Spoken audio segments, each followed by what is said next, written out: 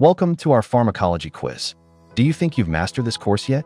Well, let's put your knowledge to the test. In today's challenge, we're covering four essential areas in pharmacology asthma medication, beta blockers, SSRI, diabetes medication. Each of these areas will have three questions one easy, one medium, and one hard, worth one, two, or three stars. After each question, I'll give you a moment to think and we'll reveal the correct answer, along with a quick explanation. Ready to get started? Let's dive in. Let's start with an easy one. Which medication class is used to treat inflammation associated with asthma?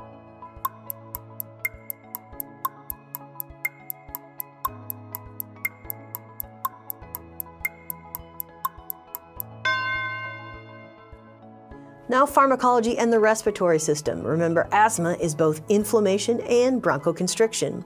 For the inflammation, we're going to give corticosteroids like beclomethasone.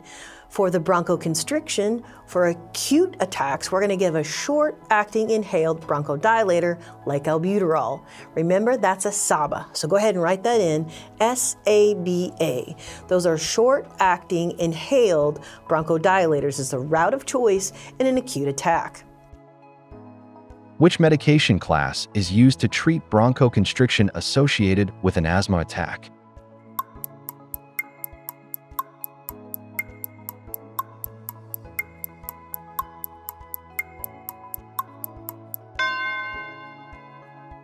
Short-acting inhaled bronchodilators are the go-to treatment for bronchoconstriction during an asthma attack. These medications, like albuterol, work quickly to relax the muscles around the airways, helping to open them up and improve airflow. They're typically used as a fast-acting rescue option during an asthma flare-up. A client who is diagnosed with asthma is prescribed albuterol. Which common medication side effects does the nurse include in the teaching? Select all that apply.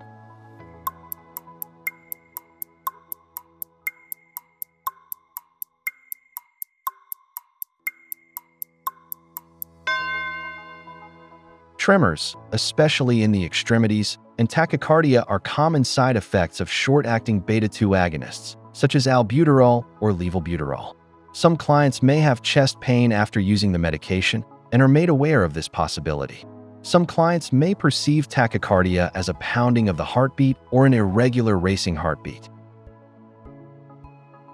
What is the primary mechanism of action of beta blockers?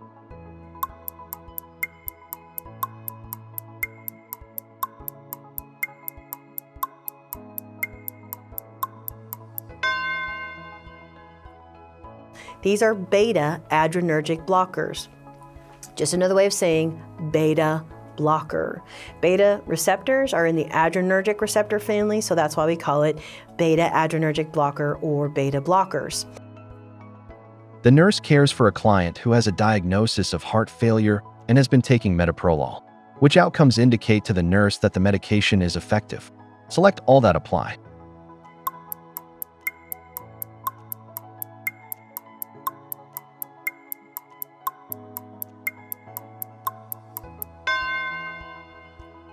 A beta blocker such as metoprolol slows down the heart rate, improving blood flow throughout the body. This medication improves the ejection fraction and decreases morbidity and mortality due to heart failure. When the heart rate is slowed, blood pressure is decreased. Under normal circumstances, the faster the heart rate, the higher the blood pressure.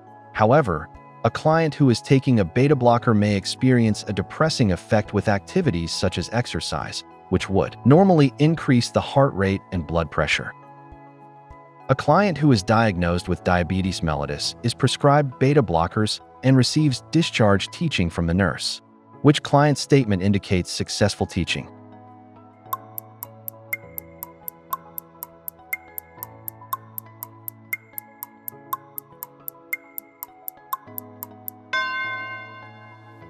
Beta blockers may mask some normal signs of low blood glucose, such as tachycardia.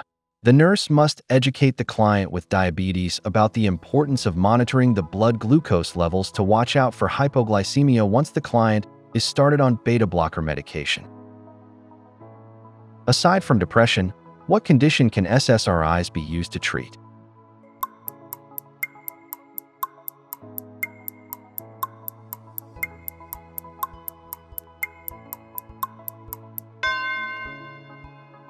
Now, we use it to treat depression. We already knew that because these are antidepressants. But it also has other benefits. It can help with OCD, social anxiety disorder, post traumatic stress syndrome, and panic disorder. It can help with eating disorders and some other special types of depression like premenstrual dysphoric disorder. And lastly, enuresis.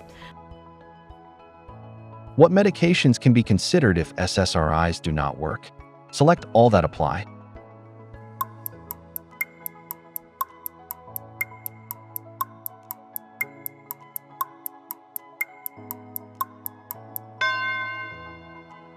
If SSRIs are not effective in treating depression, alternative medications such as serotonin norepinephrine reuptake inhibitors and norepinephrine dopamine reuptake inhibitors are often considered. Antipsychotics, though sometimes used in treatment-resistant depression, are not first-line alternatives for SSRIs and are typically reserved for cases with severe symptoms.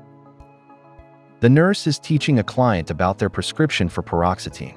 Which potential side effect does the nurse include? Select all that apply.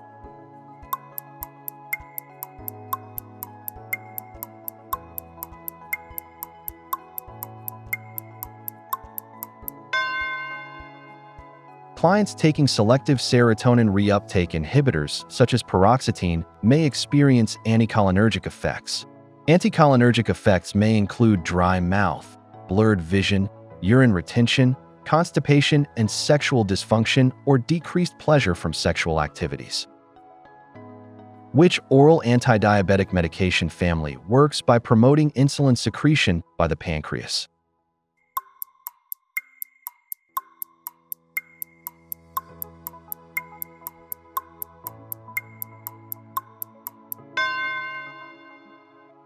Meglitinides stimulate the pancreas to release more insulin in response to meals. This action helps lower blood sugar levels, especially after eating. Unlike other classes like biguanides, which improve insulin sensitivity, or alpha-glucosidase inhibitors, which slow carbohydrate absorption, meglitinides directly enhance insulin secretion. What is a critical patient education point for those starting on SGLT2 inhibitors?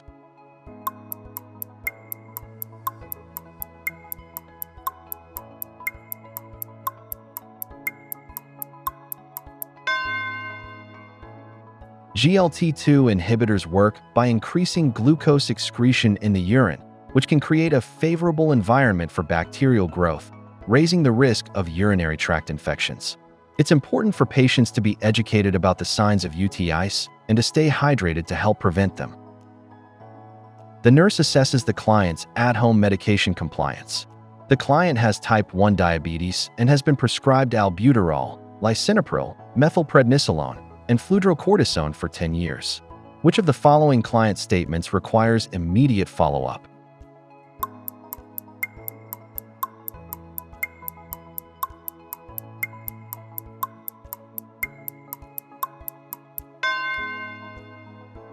So requiring immediate follow-up is B because we're looking at, we know heartbeat is faster, I feel shaky when I stand up. We want to make sure the patient understands why they feel that, what they're experiencing, and assess them for dehydration. And that's a wrap. How many stars did you earn? If you scored between 3 and 10 stars, you're a nurse student. You're just starting your journey, but you're on the right track. If you earned between 11 and 20 stars, you're a nurse intern. You're gaining practical knowledge and building a solid foundation. If you scored between 21 and 30 stars, congratulations, you're a registered nurse. You've mastered the material and are ready to apply it in practice. No matter your level, keep building your skills with Lecturio, your all-in-one study companion for nursing success. Drop your score in the comments and let us know which topic you want to test next.